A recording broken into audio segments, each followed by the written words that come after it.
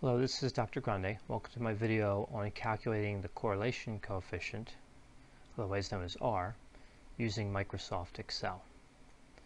I'm going to show you a couple of ways to calculate R using Excel.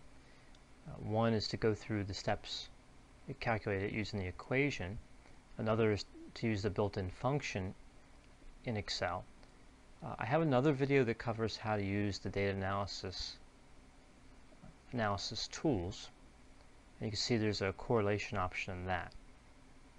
So there's another video that covers that. So in this video, I'll be going through the steps of the equation and using the function. So I have some fictitious data here on the left. I have an independent variable at two levels.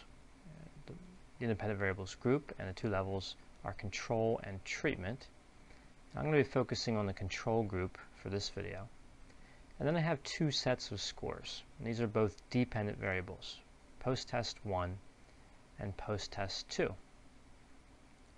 So let's say in this uh, study, what we're doing is we, we're using a dependent variable that's known to reliably and in a valid manner measure the construct of interest for our study. But we also have another instrument named post-test 2 that we're testing out in this study and we want to see if it has concurrent validity with post-test 1. And one of the aspects of concurrent validity uh, could be correlation, meaning do the scores from post-test 1 correlate, in this case we would be looking for a strong positive correlation, do they positively correlate with the scores in post-test 2? If they do, that supports concurrent validity. Although, of course, there'd be other factors you'd want to consider as well. So remember, between any two sets of scores, you're going to have correlation. Correlation ranges from negative 1, a perfect negative correlation, all the way to positive 1, a perfect positive correlation. So if you have a correlation of 0, that's still a value, that's still a value of r, which is valid. It just represents that there's no relationship between the variables. So we want to determine the correlation coefficient for these two sets of scores. So let's take a look at the equation for calculating r.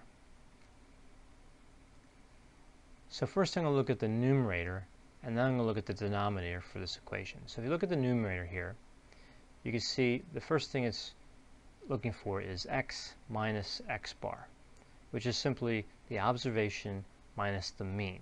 So in this case, it would be the mean for all the scores in the control group, and x would represent post-test 1. So this is the post-test 1 score minus the mean for post-test 1. Similarly, you have y, which should be post-test 2. And it would be the observation for y, the score, minus the mean for the post-test 2 scores. These two values in the parentheses are then multiplied together, and then we add them up. Uh, so sigma is the sum of, so this would be the sum of all these multiplied values. So now you kind of see how the numerator works. The denominator looks probably more straightforward because you'd see the same values here. You have x minus x bar up here and you have it down here as well. It's a little different than the denominator, of course. You're going to take x minus x bar, square it, and then take the sum of those squares and multiply that by y minus y bar squared, and the sum of these. So you're going to multiply these two sums together and then take the square root. Then, of course, the numerator is divided by the denominator, and that gives you the r value. So let's move through this step by step. First, we'll calculate the x bar and the y bar. You can see I have them up here in row 1.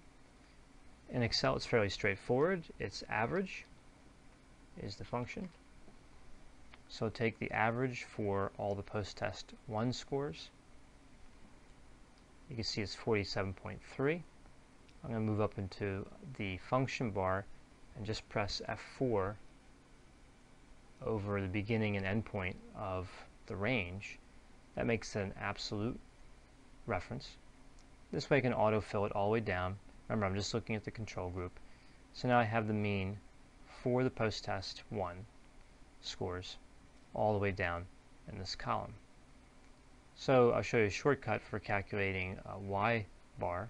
Just autofill to the right and then go into the function bar and you can see the blue rectangle that outlines the range for x bar. Just move that over to uh, post-test 2, your y values.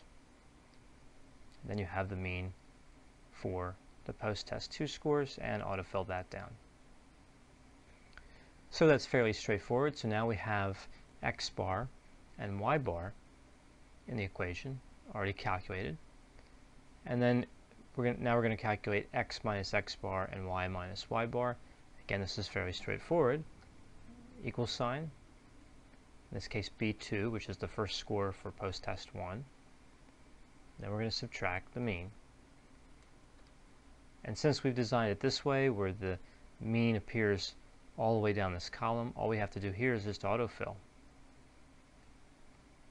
And there it's uh, the scores. These are all the scores minus the mean. We'll do the same thing for y. So take post-test 2 minus the mean for the post-test scores and autofill all the way down. So we look over at the equation and the next thing it's asking us to do is to multiply these two values together. So it'll be equal sign and F2 multiplied by, that's an asterisk, by G2. So there we have that, that value, and again, just autofill that all the way down. So now if we add these values, we have our numerator, so I'm just going to go directly into numerator label here. And to add them all together, we'll use the sum function and select that range. 793.7. So we have the numerator calculated. So now let's move to the denominator. So first we want to take x minus x bar and square it. You can see I have that up here in row 1. So it'll be equal sign. And then I'm going to go to x minus x bar. And I'm going to hit shift 6 and raise this to a power 2 because we're squaring it. So there you have this value is now squared here. And again, you can just autofill this all the way down. And for y minus y bar squared, it'll be equal sign, in this case g2, again shift 6, and then raise it to a power 2. And now that calculation is complete. So now I can build the denominator. And what I'll do is we know this has to start with square root. So I'm going to start with SQRT, square root, and open parentheses. And it's going to be the square root of the sum of all the x minus x bar squared multiplied by the sum of all the y minus y bar squared. So what we'll need next is sum, and then we'll select all the x minus x bar squared values, and it'll be shift 8 for an asterisk, and then sum, and then all the y minus y bar squared values. And then we'll close parentheses for that sum function, and then close the parentheses for the square root function. So you can see we handled that last step with a function that uses, or a formula here that uses more than one function, square root and then sum a couple times.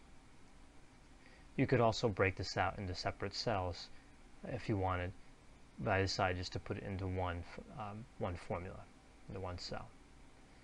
So now we know R is fairly easy to calculate from this point on. Equal sign, the numerator divided by the denominator. So it gives us 0.9068844. So let's see how that compares with the CORREL function, the correlation function, in Microsoft Excel. So that would be equal sign, C-O-R-R. You see it comes up, C-O-R-E-L. And it's looking for two arrays here, so it's important to put this information in correctly. You have the first array is going to be the values for the post-test 1, then a comma, and then array 2 will be post-test 2. And you can see it is identical to the value that I calculated using the equation. And this is a fairly strong correlation, 0.9. It's a fairly strong correlation. So if we were trying to support concurrent validity, and this again is one of the common steps for this, uh, we would say that these are highly correlated, highly positively correlated. I also want to take this opportunity to explain the coefficient of determination. Uh, you might see this every now and then, and it's also known as r squared. And as you can imagine, calculating it is fairly straightforward. It's the r value, and then shift 6 raised to the power 2, or squared. So in this case, the coefficient of determination is 0.82. And you want to think of uh, r squared as a percent. And what it tells you is the percent of one variable that is directly accounted for by the other. So another way you can think of this is in terms of shared variance. It's the percent of shared variance between two variables. So in this case, 82% of the variance in the scores in post-test 1 is shared with the variance in the scores in post-test 2. I hope you found this video on calculating the correlation coefficient in Excel to be helpful. As always, if you have any questions or concerns, feel free to contact me, and I'll be happy to assist you.